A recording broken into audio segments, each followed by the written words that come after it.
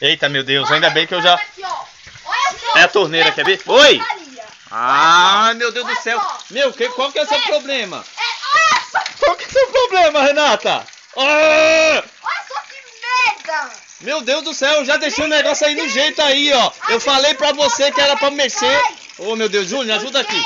Olha. Ajuda aqui. Eu falei que era pra... Caramba, Meu Deus do céu. amor, você também. Oh, Oh! nem um Eu qual que é o seu problema lavar. com torneira, meu? O problema é seu que você Ah. não arruma. Você é pedreiro, cara. Tem que deixar as coisas do jeito pra mim.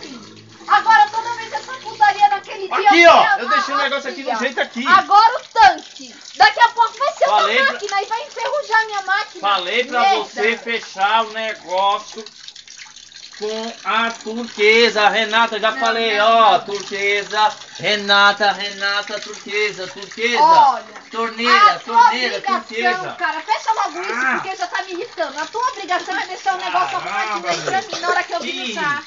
É, que patifaria, meu. Nem Meu, um tênis a a gente turquesa. pode lavar. Uma louça a gente não pode lavar em paz. É, a, a louça não, porque você arrumou, né, lá. O Pronto, negócio. pronto, fechou.